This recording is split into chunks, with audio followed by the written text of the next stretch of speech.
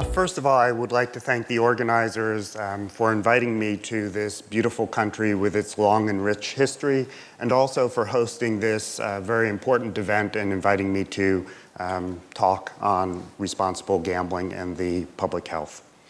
So as I do with all of my talks these days, I have a listing of relationships with the pharmaceutical, uh, gambling, and legal uh, entities.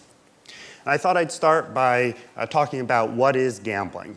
And so one definition of gambling is that it's placing something of value at risk in the hopes of gaining something of greater value.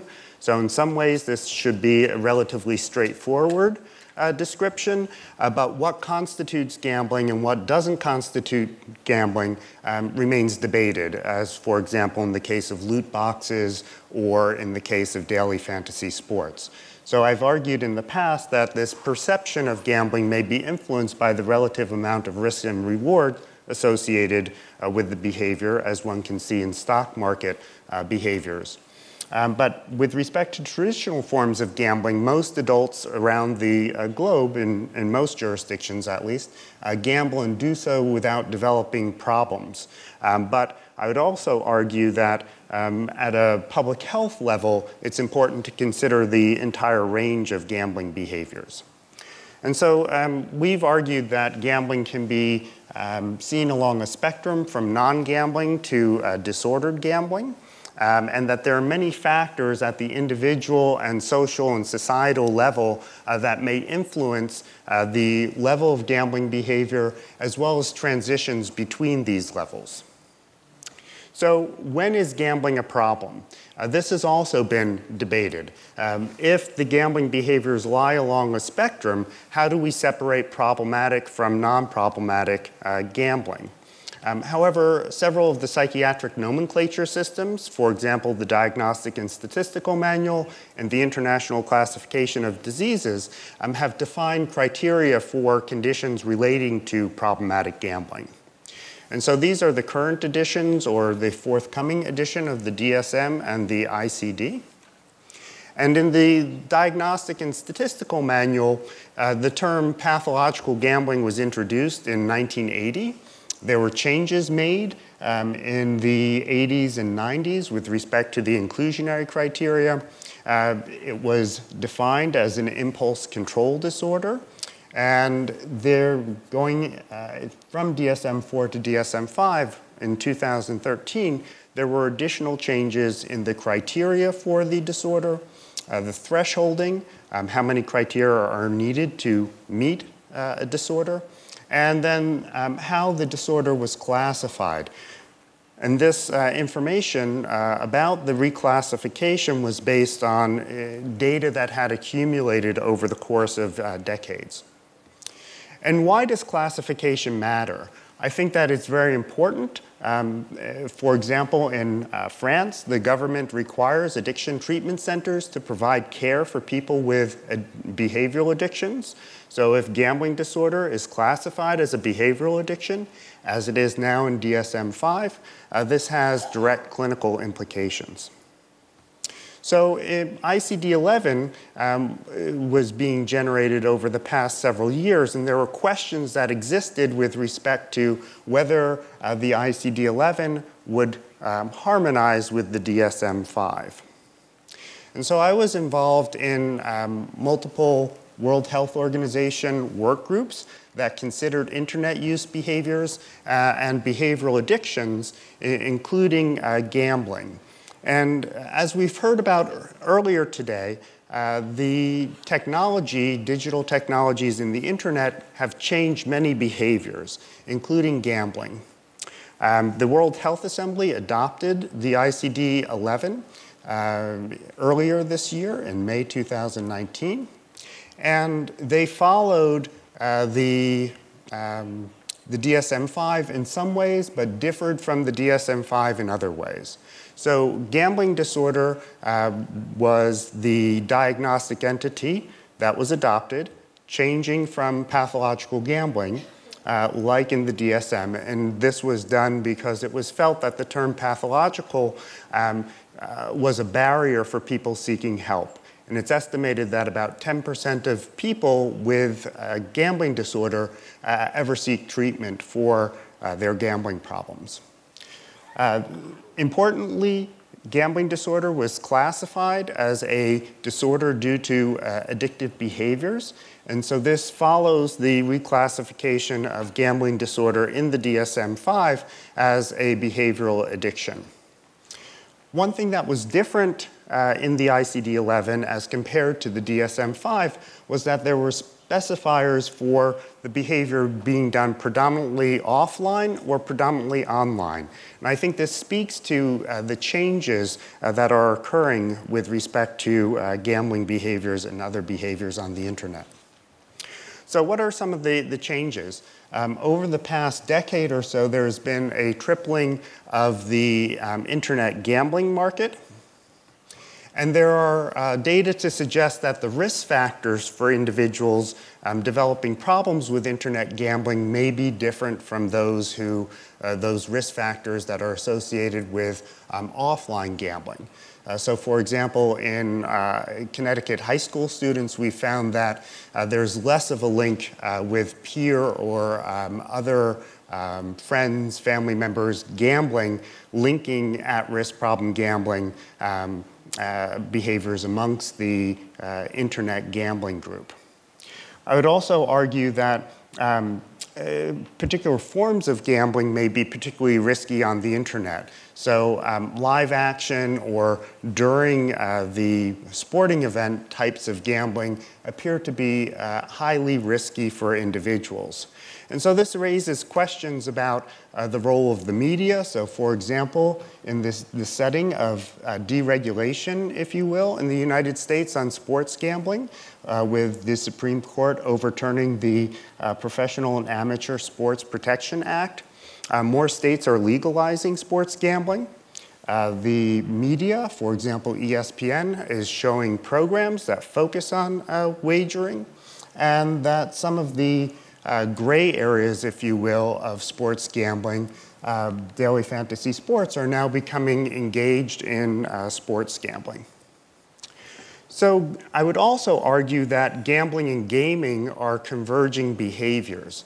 Um, and this can be seen with respect to not only daily fantasy sports, but loot boxes and loot crates in different jurisdictions thinking about um, whether these are gambling or not uh, social casino games, which may not involve placing monetary bets, but do teach um, individuals, and particularly I think we should be mindful of teaching children about the, the rules of, if you will, of casino gambling, um, may uh, be uh, particularly uh, concerning, particularly if there are microtransactions where people need to pay money over time to continue or go to higher levels as these have been linked to youth developing uh, gambling problems.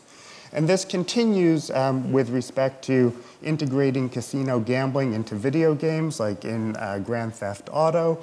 Uh, there was a, a recent introduction um, of casino gambling there, and this has been debated uh, across the Twitter sphere uh, with respect to uh, how this should be regulated. So uh, what were the criteria for gambling disorder in ICD-11?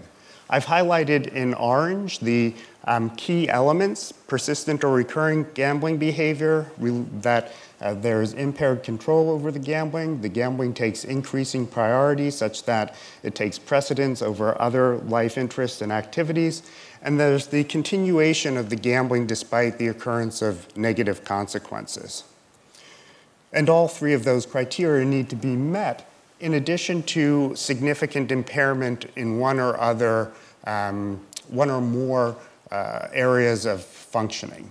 There is also a, a, time period of at least 12 months, although this can be reduced if there is rapid progression.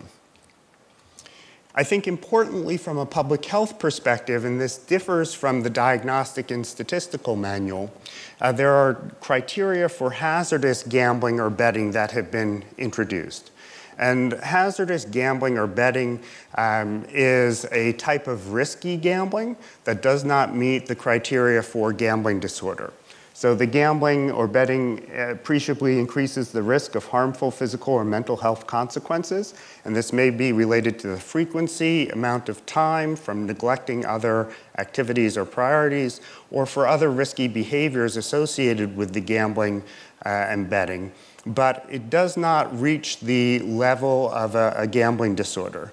And I think by having defined criteria for this hazardous gambling, as exists, for example, with respect to hazardous alcohol use, uh, this will help um, uh, public health officials um, uh, promote public health behaviors with respect to gambling.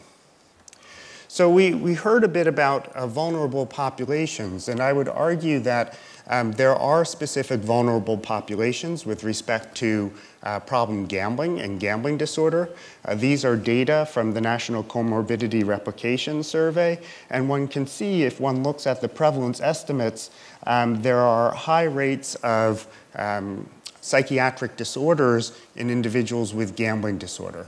It's estimated that 96% of individuals with gambling disorder have one or more co-occurring psychiatric disorder from this study, and uh, close to two-thirds have three or more psychiatric disorders. So mental health or mental illness is a, a risk factor for uh, gambling problems. So it raises the question of how can different groups work together? And we've heard a bit about bringing together different uh, stakeholders. And these can be uh, industry, advocacy, governmental, academic research uh, groups. Um, and in, in, the United States, I've been involved uh, with uh, an American Gaming Association-led initiative um, called the Responsible Gaming Collaborative and that's involved in a number of different groups, including advocacy groups like the National Council on uh, Problem Gambling, uh, academia, um, Yale and Harvard and other uh, groups, as well as uh, industry representatives to try to promote um, problem gambling and to look at the data and how we can uh, work together to uh, promote responsible gambling efforts. Um, but I would also uh, caution about the, the term uh, gaming versus gambling. Um, and I would advocate for the use of uh, gambling as uh, particularly as younger individuals mature, uh, they have a very different view of what is gaming and what is gambling. And gaming is now, uh, gaming disorder is an official diagnosis in the ICD-11 um, that focuses on video game. So I think it's going to be important to keep, the, the bound, keep in mind the boundaries between uh, gaming and gambling. Um, and how do we promote um, responsible gambling efforts? Uh, one program that is being incorporated into lottery in our state and in our region into casino gambling is GameSense. But I would also urge that one um, tests these interventions to determine whether they are having the desired effect or not.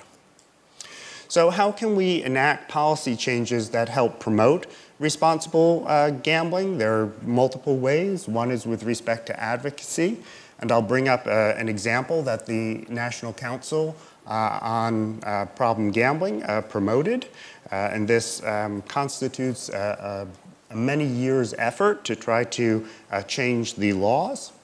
Uh, Keith Whyte and uh, colleagues uh, organized and participated in a Capitol Hill Advocacy Day last year.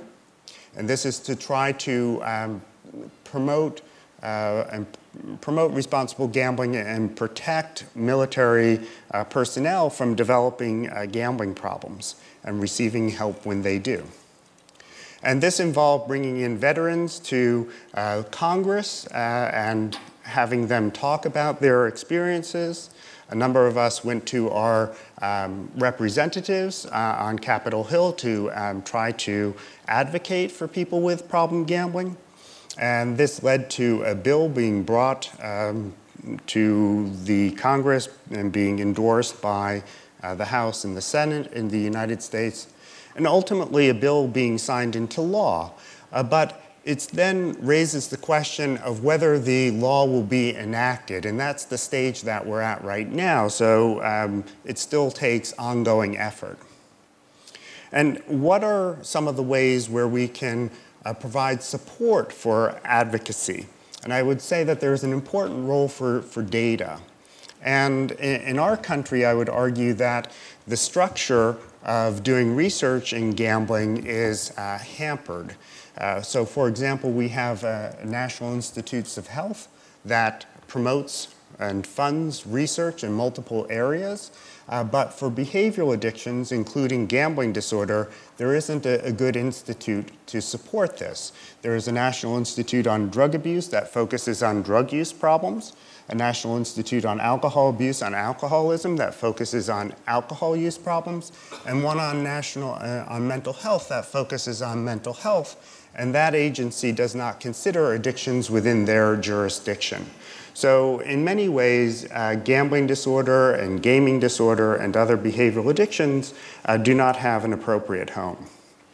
Um, and this occurs in the setting of uh, the government receiving uh, substantial funds uh, from gambling, uh, but not supporting gambling treatment or research. So gambling treatment receives about 23 cents per person um, as compared, and so $73 million total, uh, as compared to the over uh, close to a quarter of a bill, uh, 25, uh, close to $25 billion um, in funding that's given for substance use disorder uh, treatment.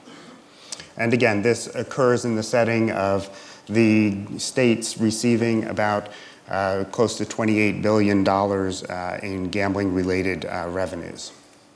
So I think that um, while there is this need for, from the public health and personal health perspective, for additional research, um, that and this falls uh, in a greater uh, domain of not only gambling disorder, but gaming disorder and other behavioral addictions. Uh, our country um, is not well structured um, to support that research and hope that we can uh, change that in our country, but would encourage um, Cyprus to be thinking about how to support um, such efforts here. So um, I would argue that the public health and policy efforts relating to preventing problem gambling and promoting responsible gambling should consider a broad range of uh, problem gambling severity levels. I focused on uh, the individuals with gambling disorder, uh, but from a public health perspective, those who um, have uh, subdiagnostic levels of gambling constitute a larger proportion of the population and warrant important consideration that multiple stakeholders should be involved, and that uh, the collection of data in order to understand what are the empirically supported or evidence-based interventions is very important. So I'd like to thank a large number of individuals, uh, funding agencies, and like to thank you all for your attention.